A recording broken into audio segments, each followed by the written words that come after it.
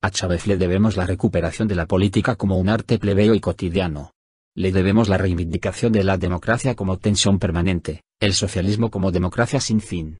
Así se arrancó Íñigo Errejón en un acto en Barcelona de homenaje a Hugo Chávez en marzo de 2014, cuando se cumplía un año de su fallecimiento. Sus palabras fueron tan emotivas que Gabriela Chávez, la hija del comandante, compartió el vídeo en su perfil de las redes sociales.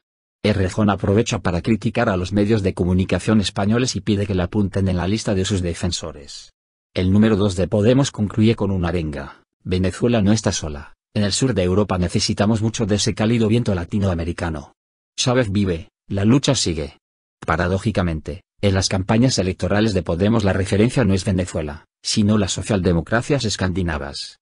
Las hemerotecas y las videotecas están plagadas de loas de Rejona Chávez así como también de Juan Carlos Monedero y de Pablo Iglesias, al que le daba envidia cómo se vive en Venezuela.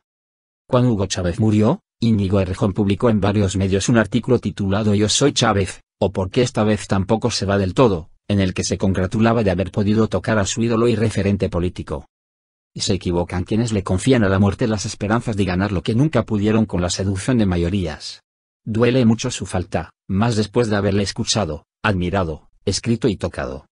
El secretario político de Podemos y portavoz en el Congreso durante la fallida legislatura, se alegra de que Hugo Chávez se muera habiéndose sembrado. Chávez ha cambiado ya Venezuela y América Latina, añade.